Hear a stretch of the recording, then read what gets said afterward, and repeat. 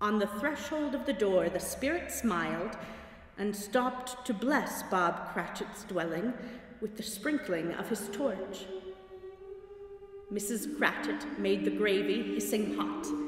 Master Peter mashed the potatoes with incredible vigor. Miss Belinda sweetened up the applesauce. Martha dusted the hot plates.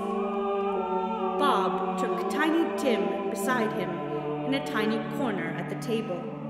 Grace was said. Bob said he didn't believe there ever was such a goose. They were not a handsome family. They were not well dressed.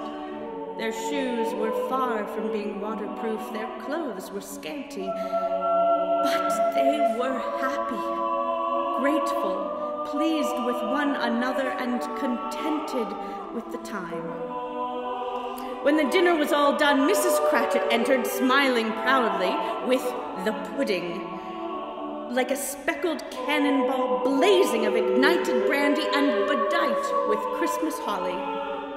Bob proposed, A Merry Christmas to us all, my dears. God bless us. God bless us, every one, said Tiny Tim.